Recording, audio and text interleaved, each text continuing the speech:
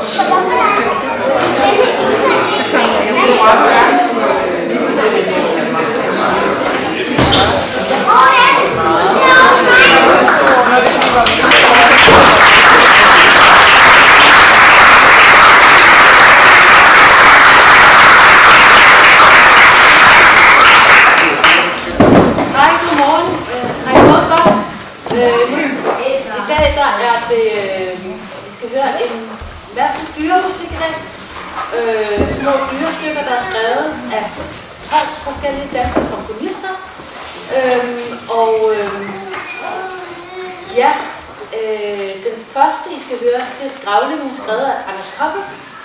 Øh, og I skal se, om I kan høre, hvordan den lunder afsted.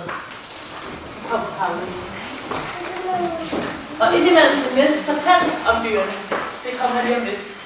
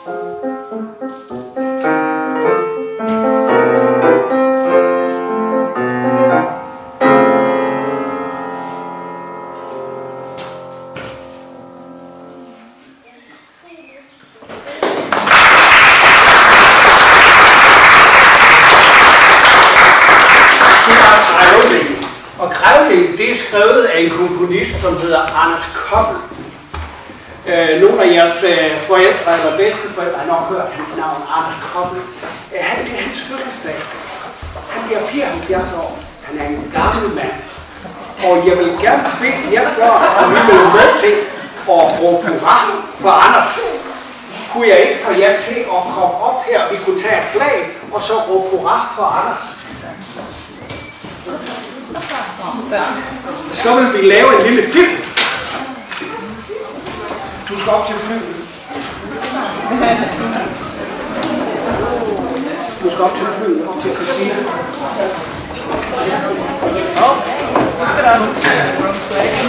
Du er amerikaner, er du ikke?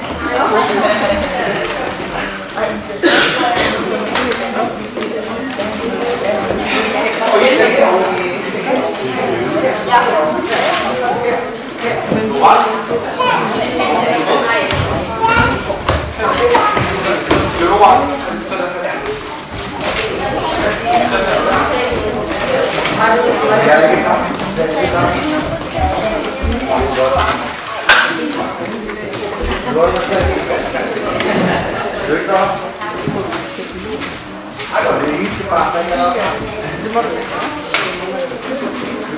og så spiller Christina en lille gravning, en lille bitte gravning igen.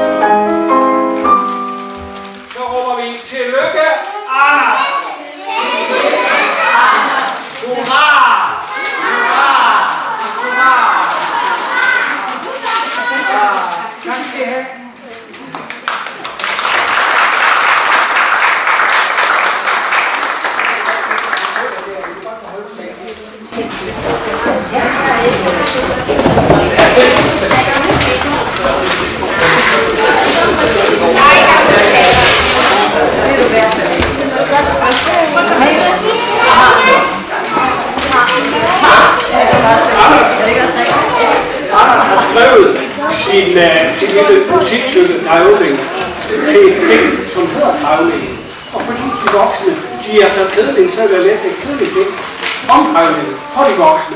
Der er jeg bare lukket ørerne. Grævling er det klogeste af alle rådyr. Den holder sig væk fra sin funktion. Uden had eller hævnklart skifte de sin vej for at sove hele vinteren i sin grav, foret med tørt græs og mos.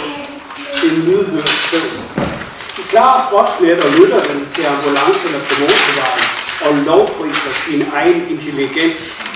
Hvem ved mere om, metafys eh, om metafysikken end jeg, der foretrækker månen frem for søvn?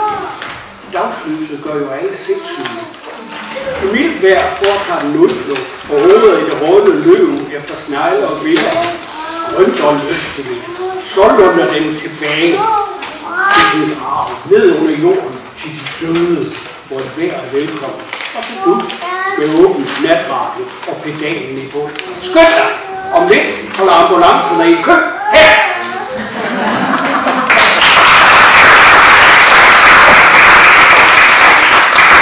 Og det næste dyr, Ja. ja.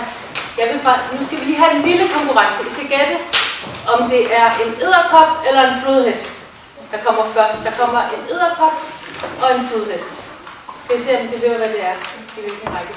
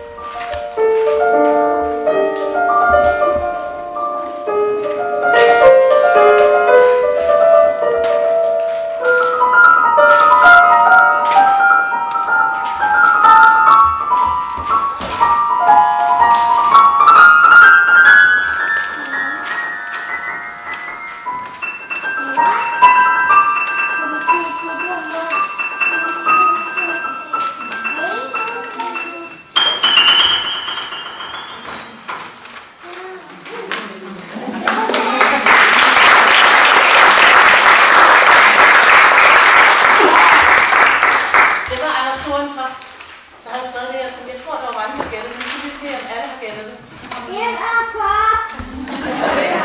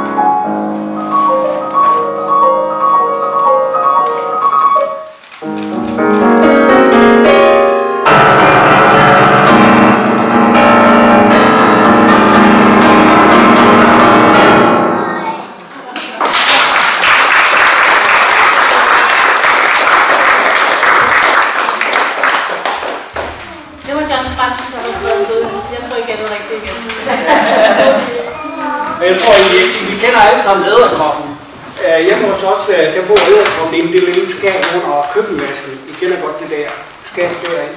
Der har vi en æderkop, der bor derinde. Han hedder Jesper. Han har så meget stort spindelvæv, han, øh, som han bruger til lange fluer. og. Nogle gange kommer han så ud og laver op på loftet og laver den stor ud og hejser selv op. Det synes jeg er. Flodhesten, I kan godt høre, det er ikke nogen rigtig hest, Flodhesten det er et meget stort dyr. Øh, man kan ikke ride på en flodhest, så bliver det meget, meget sur. Øh, og så bliver folk alt bange og kravle op i træerne. Så hvis du er et sted, hvor der ikke er nogen træer, så lad være med at kravle op på en flodhest og til. øhm, det næste dyr, Christina spiller, det er en frø, som jo også lever nede i vandet, nede ved flodhest.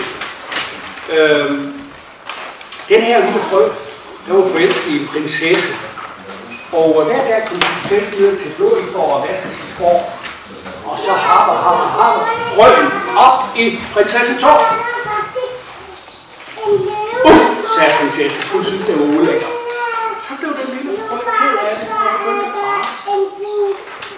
Så tog prinsessen frøen op og kyssede. den. Så blev frøen til en prins. Sådan.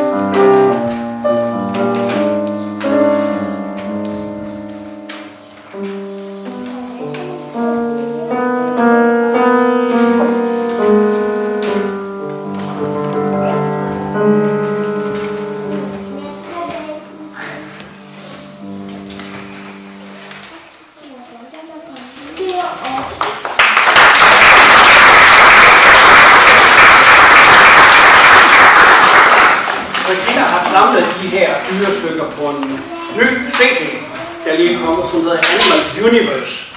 Animal betyder dyr. Det er dyrenes univers, vi fejrer i dag. Det næste dyr er en sæl.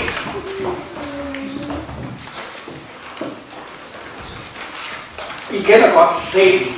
I har set øh, billeder af sælen, og I ved også godt, at omkring Danmark svømmer der sæler ude i vandet. Øh, også de små sæler kan svømme lige fra starten. Den her lille sæl, som vi nu skal høre, den er så glad, fordi den skal på sommerferie på Fejl sammen med sine mor og morfar. Og den kan selv svømme hele vejen herned til Fejø. Og når I sejler over på færden, så får I ud i vandet, og måske kan I få øje på sælen.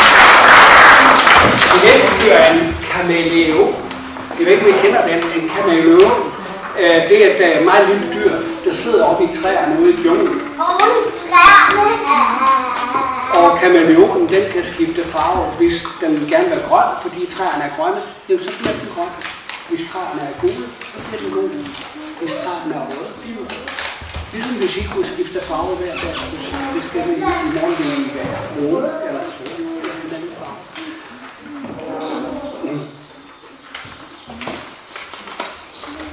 Kameleon spiser fluer, gør det. Øh, hvis den kommer i skov, så bliver den rigtig glad.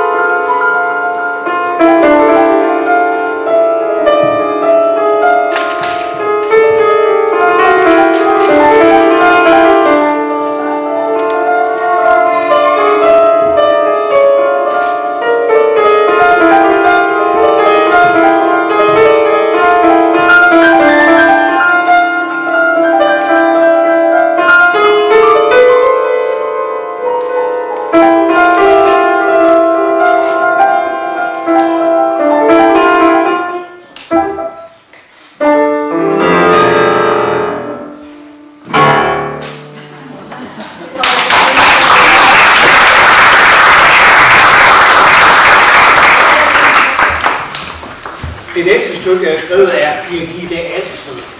Og det hedder Skildpadden drømmer om hvad? Og der står i noderne, at Christina skal komme kravlende af. Så derfor kommer hun kravlende som en skildpadde lige om lidt.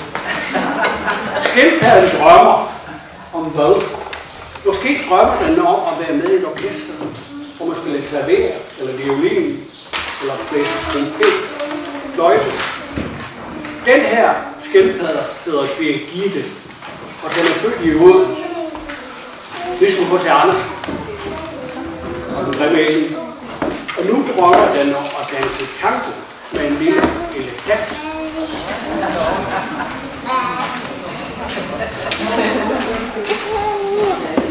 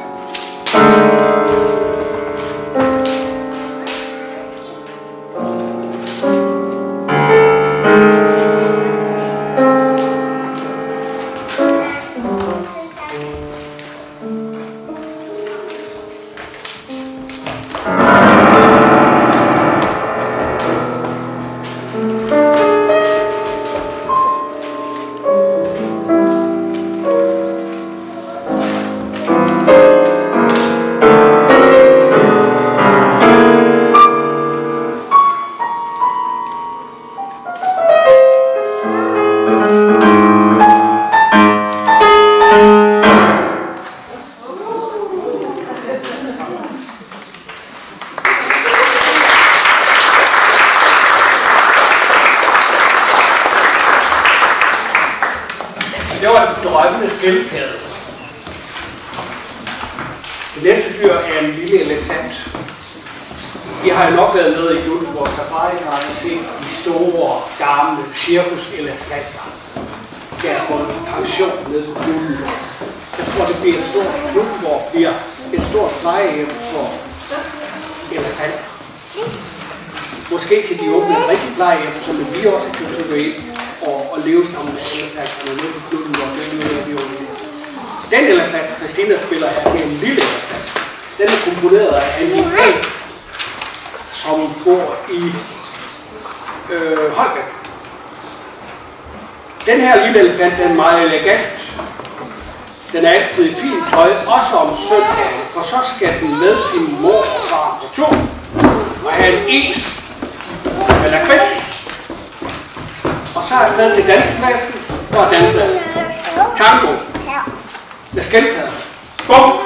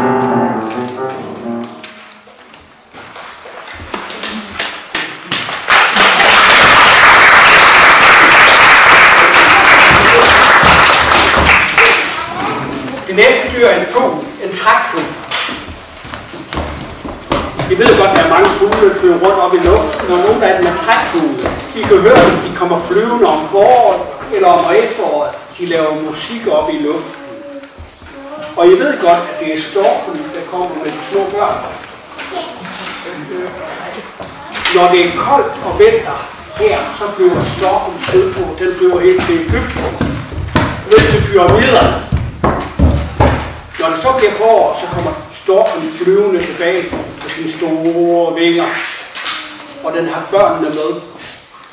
Det er derfor, de små børn ikke kan tale dansk, når de kommer. De kommer fra hvis ligesom står. De taler ægyptisk.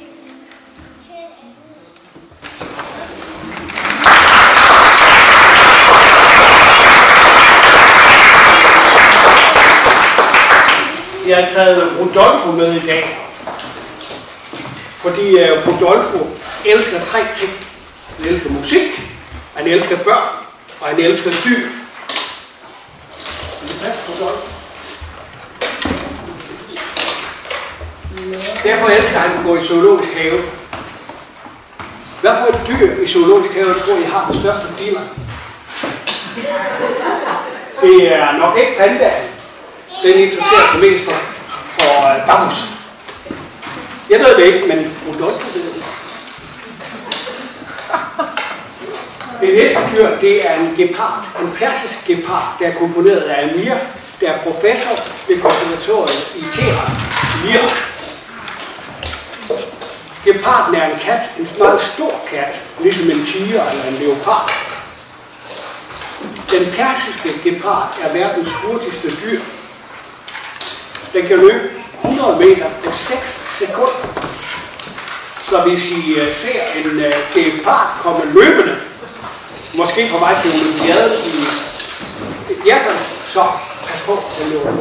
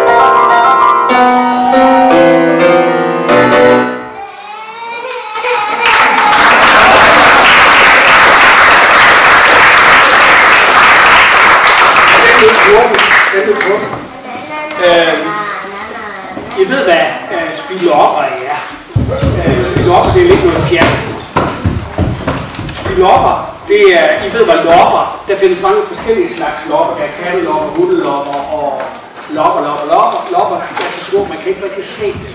De hopper rundt, og så pludselig er den der. Jeg kender en mand, der har en kat, der har lopper. Øh, og, og man kan ikke rigtig sige det til ham, fordi øh, så, bliver han, øh, så bliver han sur. Han elsker sin kat, og hvis den har lopper, så skal den have lopper. Øh, når man besøger ham, så hopper lopperne op i skoen og kravler op ad benene. Jeg ved ikke, vi kender det. Øh, sådan er det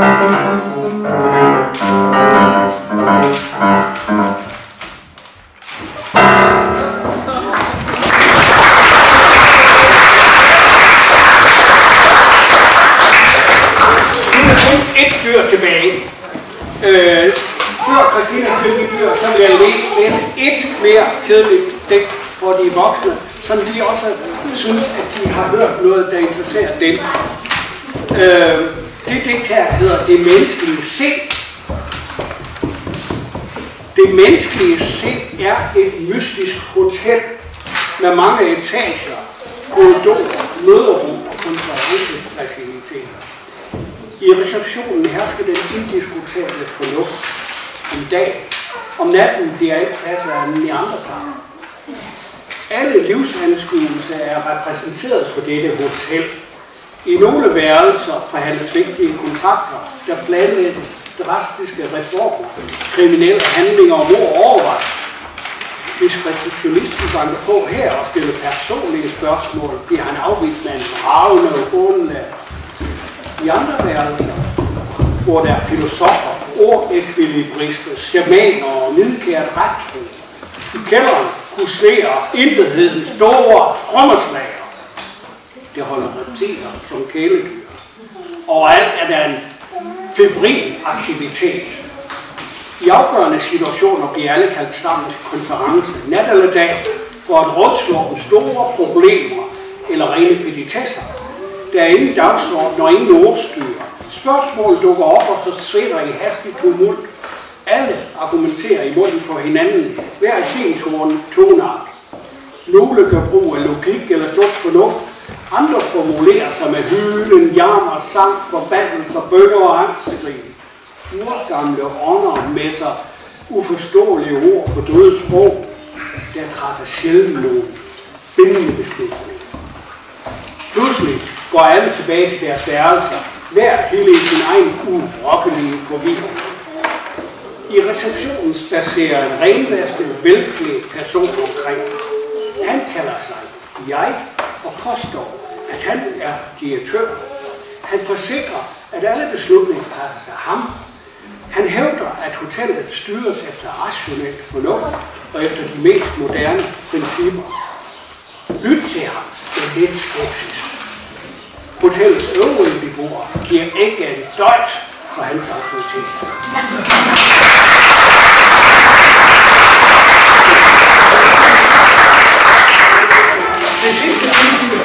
Det er en sandløber. En sandløber. Sandløberen, det er en fugl, som bor på Grønland. Nogle gange kommer til Danmark om sommeren for at holde ferie. Så løber den i sand. Ned på stranden. Der hvor vandet skyller ind og trækker sig tilbage. Der hvor børnene, der hvor I også løber med jeres bare fødder. Der løber sandløberen og den finder nogle to insekter, som spiser det. Så når vi er færdige her om to minutter, så synes jeg, at I skal blive fat i nogle og bede om at blive kørt ned til stranden og se, om I kan se en sandløber.